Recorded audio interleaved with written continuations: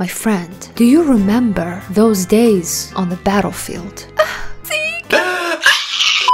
It's from TinyWave TV, and today, my friends, in this installment of my Legend of the Galactic Heroes journal, the Gaiden edition, we're getting into the Silver White Valley arc. That's quite the tongue twister, isn't it? And where to begin, if not with this beautiful opening? I'm gonna be honest with you, I only watched it the first time. And for the rest of the episodes, I skipped it because I couldn't handle all the feels. Think it's fine until the pre-chorus, and then we enter the chorus, and I'm like, no, I I can't skip. Chapter 1 It's the year 791 UC. Fluffy Yellow and Fluffy Red are at the fluffy age of 15. Actually, I don't think 15 is a fluffy age, like at all. It's a tough age. Anyone who's watching this video in their teens, just hang in there. It will pass. So the episode starts with this um, woman. When they killed her in the OVA, the way they did it, I felt bad for her, and I and I still do. Kinda.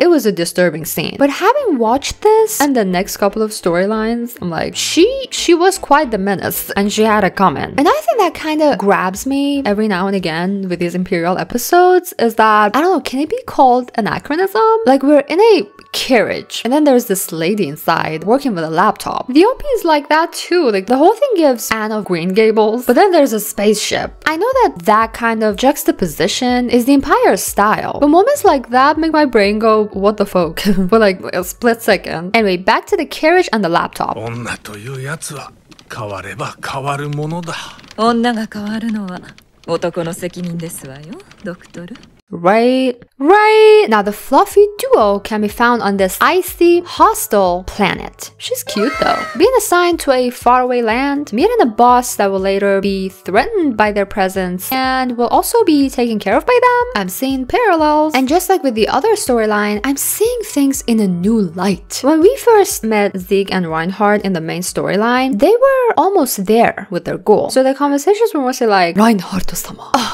Curious. Stars. Damn, they're good. They're gonna be yours, sir. Anytime now. Right. Can you be mine? I mean, the conversations they had weren't half as juicy as the stuff we're getting in the Gaiden. What if we subtract every... I'd say it's essential, even, to watch these episodes. There were times during the OVA that I wondered what was going on in Reinhard's head. In other words, I questioned his tactical genius. And he got outwitted by Wenli left and right, right? But him in these storylines, he told me to sit down and I am stuck. On the other hand, I'm seeing different sides to my boy Zeke as well. There are a lot of cute things about him that give me life, but there are also unpleasant stuff. Y'all know what I feel about him and sister. Every time he pines for her, I I can't. I can't. And this scene.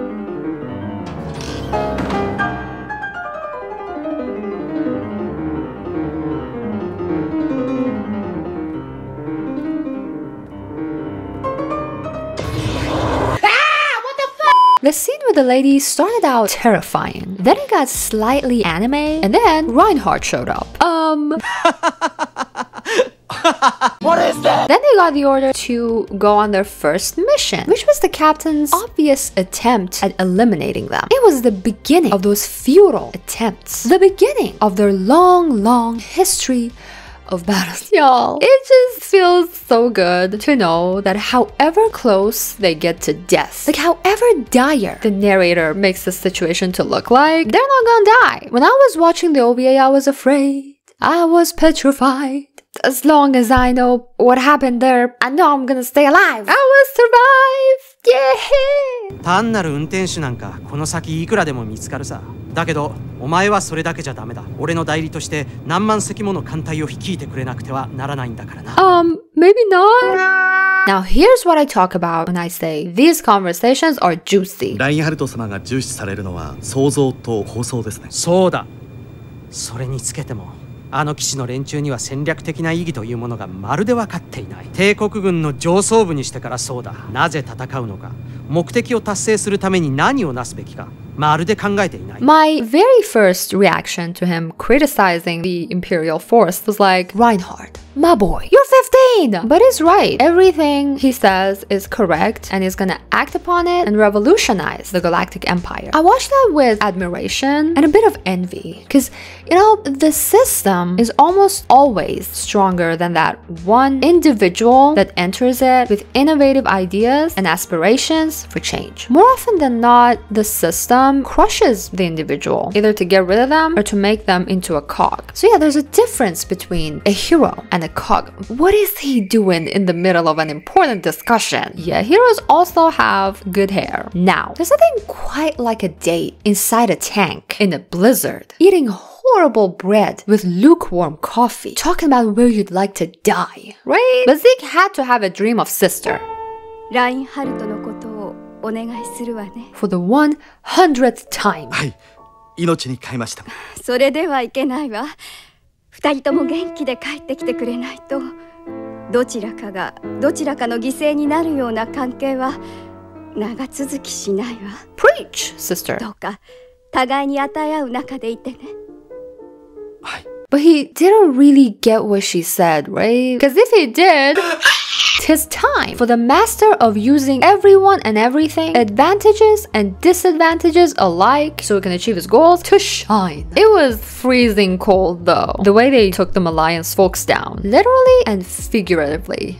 血の匂いも肉の温かみもなくそれだけに殺戮の生臭さもなかったそれは人間を消耗物とみなし数量に還元してしまう戦争の極端な一断面であったかもしれない Cold blooded Blondie continues to shine, this time as an actor. なんだってなぜだ私が何をした大佐の沖に触るようなことをした覚えはないぞ Oh my god, give the boy his Oscar! But soon after, he had to break character. そうだ生まれながらの貴婦人だ貴様の姉のようなバイタとは身分が違うお前はもう死んでいる。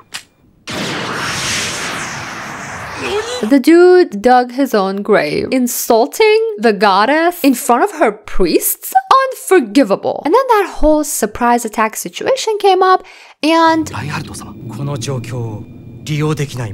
This right here is the exact same wavelength he later found himself on together with Oberstein. We got some more of Reinhard's acting in chapter 4. Again, where is the Oscar? We got some fluffiness too.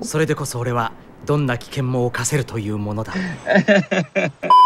そこまでだな小僧 Is it though? Huh. I was enjoying the scene where they exposed the captain and spoiled his evil plans. But the dude had to go and jump off the cliff and spoil my mood. I can't even downright hate on him. Not after he sacrificed himself for his family. Also like the part when they mentioned the planet from My Conquest is the Sea of Stars. 行こうキルヒアイス星々の大会へ Four years from now, my boy, you're gonna meet your soulmate. Alright, that was it for this storyline, but before we wrap it up, let's talk about the ending. It just attacks you with that electric guitar right from the beginning. Love it. Love me a good guitar solo. But the vibe is like it's distinct, you know? I definitely don't mix this up with other EDs. The visuals are beautiful too, but at least until they show sister. Kidding, she looks amazing in this. But can they sell me on this ship? Thank you for watching and see y'all in the next one. Reinhard-sama.